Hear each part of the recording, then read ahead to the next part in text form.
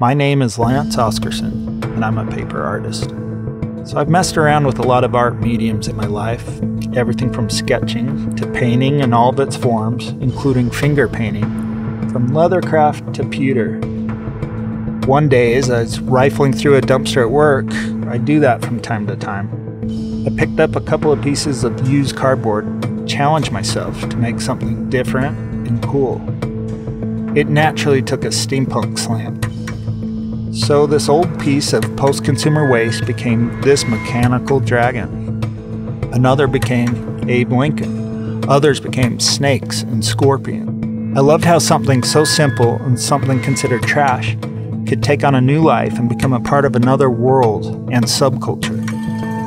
So began my project that was 14 months in the making, that included hundreds of sketches, thousands of hours of work, tens of thousands of cardboard pieces, and countless used X-Acto knife blades.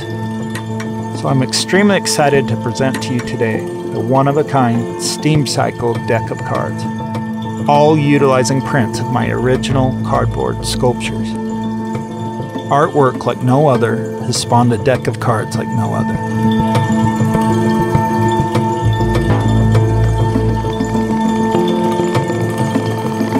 Artwork like no other has spawned a deck of cards like no other. Steam Cycle by Lance Oscarson.